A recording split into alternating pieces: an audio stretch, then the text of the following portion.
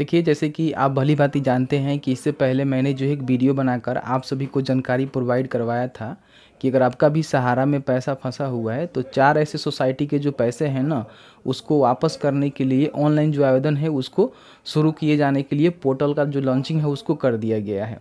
तो अभी जो है पोर्टल पूरी तरह से लाइव है तो आज की इस वीडियो में आपको हम सहारा रिफंड ऑनलाइन आवेदन करने का कंप्लीट प्रोसेस बताने जा रहे हैं कि आप जो है किस तरह से आवेदन कर सकते हैं। और मैं आपको रिकमेंड करूँगा कि एक बार वित्ता मंत्री जो अमित शाह जी हैं, उनका एक वीडियो है, वो वीडियो आप ज़रूर देखेंगे। मैं लिंक डिस्क्रिप्शन बॉक्स में प्रोवाइड करवा दिया हूँ।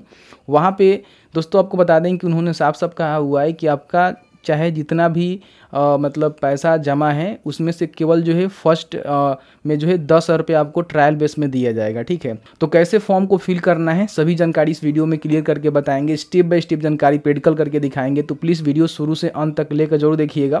और वीडियो थोड़ा सा भी अच्छा लगे तो प्लीज़ वीडियो को लाइक करिएगा क्योंकि आपका एक लाइक मुझे बहुत ज़्यादा मोटिवेट करता है। तो चलिए आज का वीडियो शुरू करते हैं। अपने कंप्यूटर के ब्राउज़र में easy to net dot com search करेंगे तो फ़र्स्ट में जो आपको वेबसाइट मिलेगा इसको यहाँ से ओपन कर लेंगे ठीक है?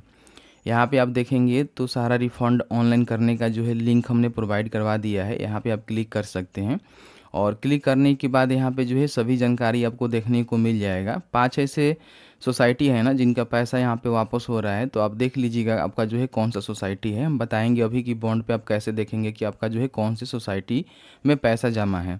तो फ़िलहाल इन चार सोसाइटी का ही पैसा रिफ़ंड करने के लिए बोला जा रहा है और ध्यान रखिएगा, आपको जो है दस तक ही मिलेगा, आपका चाहे जितना भी डिपॉजिट क्यों ना हो, इन बात को ध्यान रखिएगा, ठीक है? नीचे आएँगे तो यहाँ पे अगर पचास हज़ार से ज़्यादा आपका अमाउंट होगा तो उस कंडीशन में आपको पेन कार्ड भी देना होगा। तो आप इसको चाहें तो पढ़ सकते हैं, समझ सकते हैं। और एक बात का ध्यान रखिएगा, जिनका भी आप फॉर्म फिल करने जा रहे हैं, उनके आधार कार्ड या मोबाइल नंबर लिंक होना चाहिए। सबसे पहला तो काम आपको ये करवानी है, ठीक है?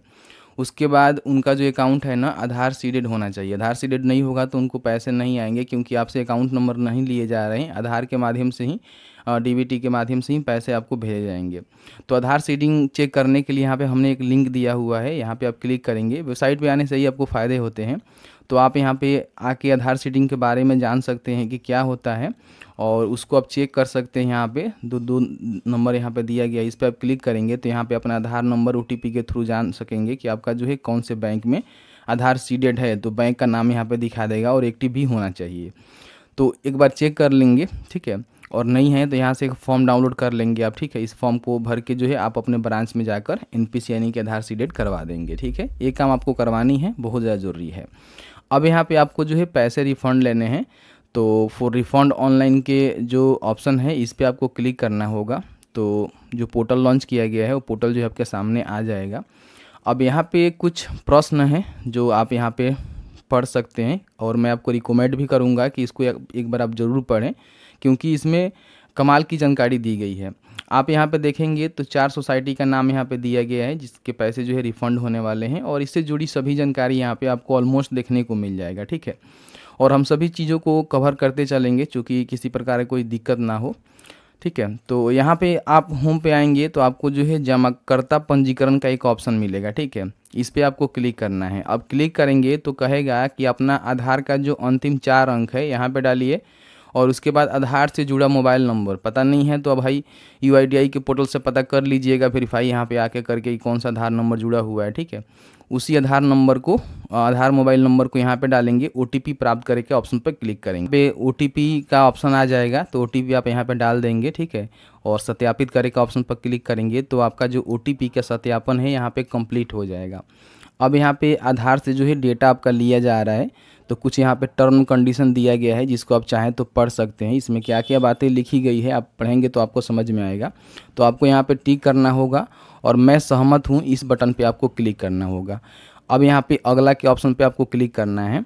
अब यहाँ पे फिर से अपना जो आधार नंबर है ना, पूरा आधार नंबर आपको यहाँ पे डालना है और ओटीपी प्राप्त करे के ऑप्शन पे क्लिक करना है। तो इस तरह से आपके आधार के साथ जो भी मोबाइल नंबर लिंक होगा, उस पर ओ जाएगा। ओ टी यहाँ पे डालेंगे और सत्यापित करे के ऑप्शन पर क्लिक करेंगे तो आपका सत्यापन यहाँ पे कंप्लीट हो जाएगा। और आपके आधार से जो भी डेटा है, जैसे कि आपका नाम है डेट ऑफ़ बर्थ है फादर का नेम है और आपका जो आधार सीडेड बैंक है, देखिए यहाँ पे ऑटोमेटिकली फैच कर लिया है। इसका मतलब ये है कि आपका जो है इसी खाते में, यानी कि इंडिया पोस्ट पेमेंट बैंक का जो खाता है ना, इसमें आपका पैसा जाएगा। तो यहाँ पे आप कंफर्म हो गए होंगे कि हमारा जो बैंक है वो आधार सीडेड है कि नहीं है, क्योंकि यहाँ पे देखिए ऑटोमेटिकली आपका फैच कर लेगा। और इसमें जो है अकाउंट नंबर आपको देने की आवश्यकता नहीं है। मैं आपको एग्ज़ाम्पल के तौर पर सभी चीज़ों को क्लियर करके बताऊँगा। थोड़ा सा भी आपको घबराना नहीं है। तो यहाँ पे ये सारी चीज़ें क्लियर हो गया कि आधार से आपका नाम ले लिया। तो अब आप में से काफ़ी सारे लोग कह रहे हैं कि हमारा जो है नाम मिस मैच है, गलत है तो उसके लिए हम क्या करें? देखिए, आपके पास एक तरीका है, आप चाहें तो अपने आधार कार्ड में नाम सुधार करवा सकते हैं, उसके बाद ही आप फॉर्म फिल कर सकते हैं। बट पॉसिबल नहीं है सुधारना तो आपको वेट करना है, उसका भी कोई ना कोई सोल्यूशन आएगा, ठीक है? साथ ही साथ आप में से काफ़ी सारे लोग ये भी कहेंगे कि हमारा जो है, जो पर्सन है जिनके नाम से पैसे जमा थे, वो डेट कर चुके हैं तो अभी उसको भी लेकर कोई ज़्यादा इन्फॉर्मेशन नहीं है। हो सकता है कि जो नोमिनेटर है, जिनको भी नोमनी में डाले हुए हैं, उनके नाम से फॉर्म फिल होगा, लेकिन अभी उसका कोई अपडेट नहीं है, थोड़ा सा वेट करिएगा। बाकी अगर आपका सही, सारा चीज़ सही है काफ़ी सारे लोग ऐसे कहेंगे कि हमारे आधार कार्ड में मोबाइल नंबर लिंक है ही नहीं और पर्सन जो है बाहर रहते हैं, विदेश रहते हैं, उस कंडीशन में भी प्रॉब्लम ही प्रॉब्लम है। तो अभी सभी प्रॉब्लम का जो है समाधान बहुत जल्द आपको मिलेगा, लेकिन फ़िलहाल अगर सारा चीज़ अवेलेबल है तो फॉर्म को अप्लाई करें। और हाँ आप फॉर्म पैसा लेना चाहते हैं, हालाँकि सरकार का तो एक तरह से मतलब एक गलत चीज़ है कि हम दस रुपये तक ही देंगे, लेकिन आप इसके बारे में क्या सोचते हैं, आप हमें कमेंट सेक्शन में कमेंट करके बता सकते हैं। तो यहाँ पे आपका जो है, कौन सा आधार सीडेड बैंक है ऑटोमेटिकली यहाँ पे फैच कर लिया है। उसके बाद यहाँ पे आप चाहें तो अपना ईमेल आईडी डाल सकते हैं। मतलब कि ये जो है, वैकल्पिक है, लेकिन मैं रिकमेंड करूँगा कि आप एक डाल दीजिएगा, क्योंकि आपको जब भी पैसे आएँगे वगैरह वगैरह तो आपको जानकारी मिल जाएगा। उसके बाद यहाँ पे ईमेल सहजे के ऑप्शन पर क्लिक करेंगे तो आपका जो ईमेल है, यहाँ पे सहजा जाएगा। उसके बाद यहाँ पे अगला के ऑप्शन पे आपको क्लिक करना है। अब जैसे ही अगला के ऑप्शन पर क्लिक करेंगे तो यहाँ पे जो आपका दावा ब्यूरर है, यानी कि जो भी आप क्लेम करना चाहते हैं, वो यहाँ पे आपको फॉर्म फिल करने का ऑप्शन आएगा। अब यहाँ पे दोस्तों थोड़ा सा समझने वाली बात है, ठीक है? और ध्यान से समझिएगा, नहीं समझिएगा तो आप यहाँ पे गलती कर दीजिएगा, ठीक है? सबसे पहले जो सोसाइटी का नाम पूछ रहा है तो सोसाइटी में चार ही सोसाइटी का नाम आपको देखने को मिलेगा। अगर इस सोसाइटी के अंतर्गत आपने पैसा जमा किया हुआ है तो ही आप यहाँ पे आवेदन करेंगे। अब यहाँ पे देखिए आपके पास इस तरह से बॉन्ड होगा, जैसे कि आप स्क्रीन पर देख रहे होंगे, या फिर इसके अलावा दूसरा कोई भी बॉन्ड हो सकता है। मैं ये नहीं कह रहा हूँ कि ऐसा ही आपके पास बॉन्ड होगा, लेकिन हाँ बॉन्ड आपके पास होगा, ठीक है? या फिर रसीद भी हो सकता है। आपने अगर रिकॉर्डिंग डिपॉजिट किया हुआ है, हर मंथ किया हुआ है तो उसका अलग अलग रसीद होता है, एक पासबुक होता है, ठीक है? और आपने वन टाइम फिक्स्ड किया होगा तो आपके सामने इस तरह का एक बॉन्ड होगा। अब यहाँ पर देखेंगे, सबसे पहले आपको चेक करना है ना कि आपका जो पैसा है ना, कौन सा सोसाइटी के तहत जमा किया गया है? तो यहाँ पे आप ऊपर देखेंगे तो सोसाइटी का यहाँ पे नाम रहेगा और यहाँ पे इसका एड्रेस भी यहाँ पे रहेगा, ठीक है? तो इसको एक बार आप देख लेंगे। ऊपर ही यहाँ पे दिया रहता है, ठीक है? तो मेरा जो है Saharayan universal multipurpose society limited के लिमिटेड के द्वारा द्वारा जमा हुआ है। तो आप यहाँ पे आएँगे तो इसमें आप सिलेक्ट कर लेंगे। देखिए यहाँ पे ये वाला मिल रहा है, ठीक है? जैसे कि यहाँ पे हम इसको सिलेक्ट कर लेंगे, जैसे कि आप यहाँ पे देख रहे होंगे, ठीक है? यही वाला है। अगर आपका नहीं है अभी तो आप फॉर्म फिल नहीं करेंगे, ठीक है? उसके बाद यहाँ पे आपको जो है, सदस्यता संख्या मांगा जाता है। इसको आप मेंबरशिप बोलेंगे, क्योंकि यहाँ भी मेंबरशिप लिखा गया है इंग्लिश में आप देख सकते हैं। तो मेंबरशिप बेसिकली आपको यहीं पे मिलेगा। आप यहाँ पे देख सकते हैं कि आपको जो है, मैं आपको हाईलाइटेड करके दिखाता हूँ, देखिए। ये वाला आपका जो है मेम्बरशिप है नंबर ठीक है? यहाँ पे मेम्बरशिप नंबर जो कि यहाँ पे दिया हुआ है ये आपका मेंबरशिप नंबर हो गया, ठीक है? उसके बाद यहाँ पे क्या मांग रहा है, हम एक बार देख लेते हैं। उसके बाद यहाँ पे खाता संख्या मांग रहा है, ठीक है? तो खाता संख्या में दोस्तों आपको हम बता दें कि देखिए, इसमें जो है खाता नंबर भी रहता है, आपका अकाउंट नंबर नहीं देना है, जो आपका बॉन्ड है, जो अपने सहारा में पैसा जमा किया हुआ है, उसका ही खाता नंबर आपको देना है, ठीक है? तो यहाँ पे देखिए तो यहाँ पे देखेंगे, आपको जो ये कंट्रोल नंबर दिया गया होगा, ठीक है? मेंबरशिप नंबर तो ऊपर भी दिया गया है, नीचे भी दिया गया है, और यहाँ पे जो है कंट्रोल नंबर दिया गया होगा तो ये आपका कंट्रोल नंबर जो है, आपका यहाँ पे अकाउंट नंबर है ठीक है? इस इन बात को ध्यान रखिएगा केवल कंट्रोल नंबर ही आपका अकाउंट नंबर है डायरेक्ट यहाँ पे अकाउंट नंबर नहीं लिखता है। और उसके बाद आपका जो है कितने दिनों के लिए जमा हुआ है उसकी भी जानकारी आप यहाँ पे देख सकते हैं कि चौंसठ मन के लिए इन्होंने जमा किया हुआ है। कब जमा हुआ है यहाँ पर डेट भी देखने को मिल जाएगा अट्ठाईस दो अठारह को यहाँ पर ठीक है? तो इस तरह से सारे चीज़ों को आप बड़ी आसानी से फाइंड कर सकते हैं। तो यहाँ पर क्या पूछा हुआ है कि आपका अकाउंट नंबर ठीक है? तो आप देखेंगे तो यहाँ पे आ, मैंने आपको दिखाया कि जो कंट्रोल नंबर है, ये आपका अकाउंट नंबर है तो उसको आपको यहाँ पे मेंशन कर देना है। अब आप में से काफ़ी सारे लोग ऐसे होंगे जिनके पास अकाउंट नंबर उनके बॉन्ड पे होगा ही नहीं, क्योंकि काफ़ी सारे बॉन्ड ऐसे हैं ना, वहाँ पे अकाउंट नंबर है ही नहीं। तो अकाउंट नंबर नहीं है तो आप इसको छोड़ सकते हैं। देखिए, यहाँ ऑप्शनल है, भरना ये मैंडेटरी नहीं है। आप चाहे तो सर्टिफिकेट नंबर भी आपके पास नहीं है तो भी सॉरी मेंबरशिप नंबर नहीं है तो भी आप इसको छोड़ सकते हैं, कोई प्रॉब्लम नहीं है। उसके बाद यहाँ पे आपका जो रिसिप्ट नंबर है, यानी कि रसीद संख्या है, वो आपको देनी होगी तो रसीद संख्या भी आपको यहाँ पे देख सकते हैं। रिसिप्ट नंबर यहाँ पे इस तरह से आपको मिल जाएगा, ये आपको भर देनी है, ठीक है। उसके बाद यहाँ पे अगर आपके पास प्रमाण पत्र है या फिर पासबुक नंबर है, जैसे कि मान लीजिए अगर आपने एक बार मतलब फिक्स करवाया होगा तो आपके पास प्रमाण पत्र होगा, उसका बॉन्ड होगा जो कि मैं आपको दिखा रहा हूँ, इस तरह से बॉन्ड होगा, ये मतलब मैंने फ़र्स्ट टाइम जो भी फिक्स किया हुआ है। अगर आप रिक्रूटमेंट जो डिपॉजिट होता है, जैसे कि आपने आरडी करवाया होगा होगा तो आपको एक जो पासबुक मिला होगा, और पासबुक के साथ साथ जो है, हर मंथ जब भी आप जमा कर रहे होंगे तो उसका एक रिसिप्ट भी मिलता है, जो भी आपने पेमेंट किया, उसका एक रिसिप्ट मिलता है। तो यहाँ पे पूछ रहा है कि उसका प्रमाण पत्र या फिर पासबुक नंबर, ये यहाँ पे पूछा जा रहा है। तो प्रमाण पत्र या फिर पासबुक नंबर आप देखिए प्रमाण पत्र में यहाँ पे आप देखेंगे तो आपको देखने को मिलेगा। यहाँ पे देखिए सर्टिफिकेट नंबर यही आपका जो है प्रमाण पत्र नंबर हो गया, यहाँ पे है या फिर यहाँ पे भी है, या फिर यहाँ पे भी है, ठीक है? ये आपका क्या हो गया? सर्टिफिकेट नंबर यानी कि प्रमाण पत्र नंबर आपका यहाँ पे हो गया। अगर पासबुक है तो पासबुक में जो नंबर होगा वो आप दे सकते हैं। मेरे पास पासबुक नहीं है, नहीं तो मैं आपको दिखाता। तो उस पासबुक को आप यहाँ पे, उस पासबुक नंबर को दे सकते हैं। अगर नहीं है तो इसको भी आप छोड़ सकते हैं। मैंडेटरी नहीं है, ठीक है?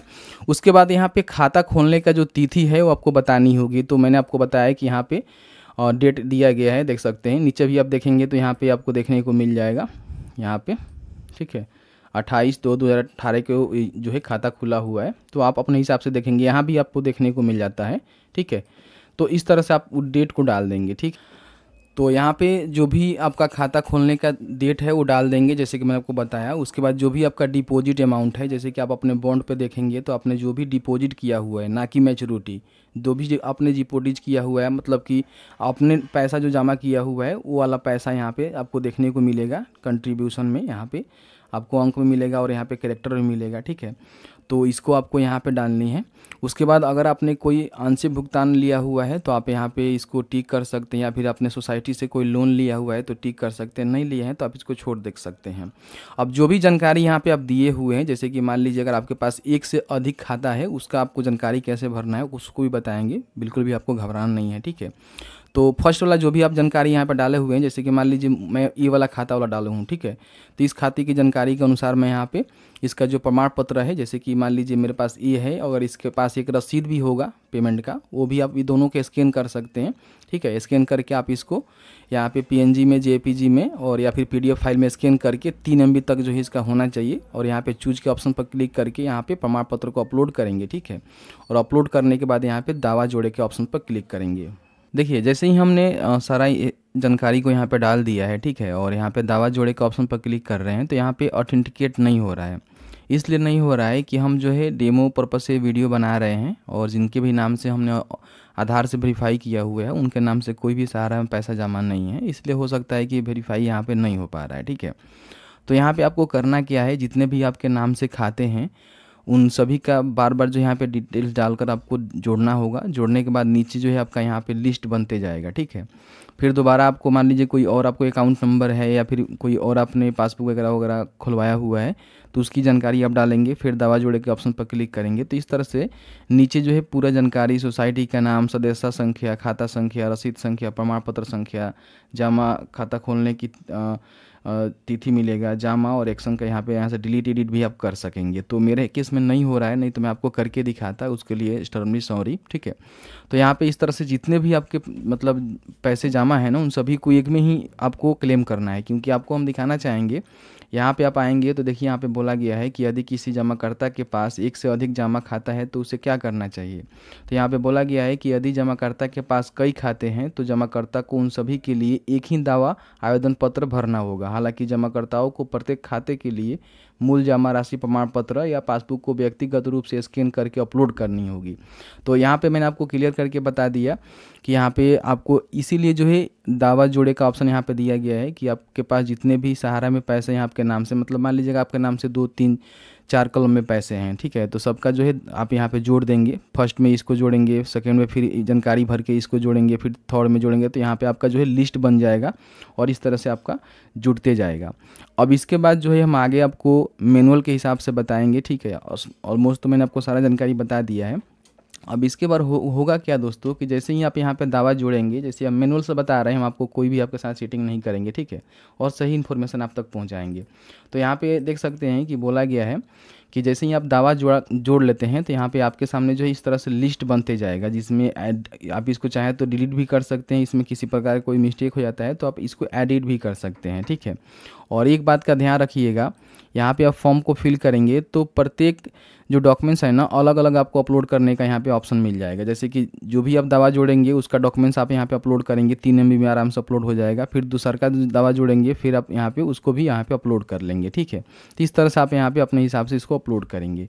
अपलोड करने के बाद यहाँ पे अपना लिस्ट बना लेंगे, क्योंकि बोला गया है कि एक बार में सभी दावा दर्ज हो जाने के बाद पहले से भरा हुआ दावा अनुरोध फॉर्म तैयार करें। यानी कि अब यहाँ पे क्या होगा कि विभाग जो है आपको एक फॉर्मेट दे रहा है, ठीक है? जैसे कि मान लीजिए यहाँ पे आप जैसे ही दावा जोड़ के अगला बटन पे आप क्लिक करेंगे तो यहाँ पे देखेंगे आपको जो है एक पपत्र जनरेट किया जाएगा, ठीक है? तो पपत्र यहाँ पे जनरेट करने के बाद दोस्तों आपको हम बता दें कि यहाँ पे पपत्र जनरेट हो जाएगा, जैसे कि यहाँ पे दिखाया गया है। तो इस तरह से आपका जो पपत्र जनरेट होगा, उसको आपको प्रिंट करना है, ठीक है? प्रिंट करने के बाद यहाँ पे करना क्या है ये भी बताया गया है। देखिए, इस तरह से आपका जो दावा पत्र है ना, इस तरह से आपके सामने दिखाई देगा, ठीक है? तो इसको आपको सबसे पहले तो प्रिंट करना है। प्रिंट करके यहाँ पे अपना फ़ोटो लगाना है, ठीक है? सबसे पहले यहाँ पे फ़ोटो चिपका दीजिएगा और यहाँ पे अपना जो है depositor of signature of depositor का जो ऑप्शन है ना, यहाँ पे जमा करता जो है सिग्नेचर करेगा, ठीक है? और सिग्नेचर करने के बाद इसको स्कैन करेगा, ठीक है? स्कैन करके यहाँ पे देख सकते हैं कि बोला गया है कि अगर आपका पचास हज़ार रुपये से अधिक है तो आपको जो है पेन कार्ड भी यहाँ पर देना पड़ेगा, इस बात को ध्यान रखिएगा, ठीक है? तो ये जानकारी आपको, यहाँ पर आएँगे तो आपको यहाँ पे दस्तावेज़ अपलोड करने का जो ऑप्शन है ना, इसमें आपका जो भी दावा पत्र जनरेट करेंगे, उसको अपलोड करना है और पैन कार्ड को आप चाहें तो यहाँ पे अपलोड करेंगे। ठीक है, ये बात यहाँ पे बोला गया है।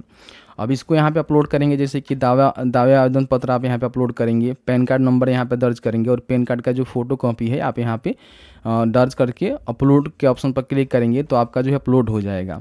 तो प्रिंट करने के बाद यहाँ पर सिग्नेचर और फ़ोटो लगाकर फिर इसको स्कैन करके अपलोड करनी है, इस बातों का ध्यान रखिएगा, ठीक है? उसके बाद यहाँ पर अगला के ऑप्शन पर क्लिक करेंगे तो आपका जो है आवेदन यहाँ पर कंप्लीट हो जाएगा। देखिए यहाँ पर बोला गया है कि हम आपके दावे की प्राप्ति स्वीकार करते हैं, आपका दावा अनुरोध संख्या ये है। इसको नोट डाउन कर लीजिएगा, क्योंकि भविष्य में इसका बहुत ज़्यादा काम लगने वाला और इसका प्रिंट आउट भी आप कस्टमर का कर रहे हैं तो दे दीजिएगा, ठीक है? तो इस तरह से आपको करनी है। जैसे कि आपने देखा कि मैंने जो है ऑनलाइन फॉर्म फिल करके बता दिया कैसे जो है फॉर्म को अप्लाई करना है फॉर्म को अप्लाई करने के बाद आपको जो है वेट करना है पैंतालीस दिन के अंदर इन्होंने कहा हुआ है कि आपका जो पैसा है आपके खाते में ट्रांसफ़र कर दिए जाएँगे और उसकी जानकारी है मेल के माध्यम से या फिर मोबाइल के माध्यम से आपको प्राप्त हो जाएगी। तो बस एक मेरा छोटा सा प्रयास था मैं जहाँ तक मैं ये जानकारी इकट्ठा किया था, उसके बेसिस पर मैंने वीडियो बनाया हुआ है। इस पोर्टल पे फॉर्म फिल करने से पहले आप जो है अपने हिसाब से उसको देखें, समझे, जो भी इसका गाइडलाइन है उसको पढ़े, उसके बाद ही आवेदन करें तो आपको अच्छा बेनिफिट मिलेगा। तो बस आज की इस वीडियो में इतना ही। वीडियो अच्छा लगा है तो वीडियो को लाइक करें। चलिए मिलते हैं एक नई वीडियो में, एक नए टॉपिक के साथ। तब तक के लिए वीडियो देखने के लिए आपका बहुत बहुत धन्यवाद। अब जहाँ भी रहें, सुरक्षित रहें, स्वस्थ रहें बहुत बहुत धन्यवाद।